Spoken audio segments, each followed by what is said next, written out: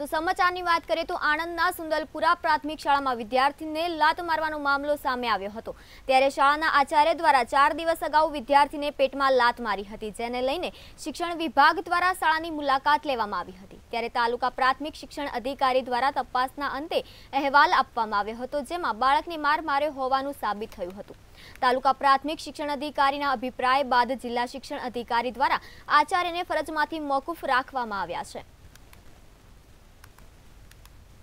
સુંદરપુરા પ્રાથમિક શાળામાં આચાર્યશ્રી દ્વારા એક બાળક સાથે ગેરવર્તણૂક કર્યાના સમાચાર જ્યારે અમને પ્રાપ્ત થયા, ત્યારે અમે અમારા ટીમ સાથે તપાસ અધિકારીને ત્યાં તપાસ માટે મોકલેલ અને તપાસ અધિકારીના તપાસ અહેવાલના આધારે એ શિક્ષક દ્વારા બાળક સાથે ગેરવર્તણૂક કર્યાના આક્ષેપો એ સાબિત થતા હતા, જેના આધારે આજરોજ એમને ફરજ મોકૂફ કરવામાં આવેલ છે અને ખાતકીય તપાસ પણ સોંપવામાં આવેલ છે.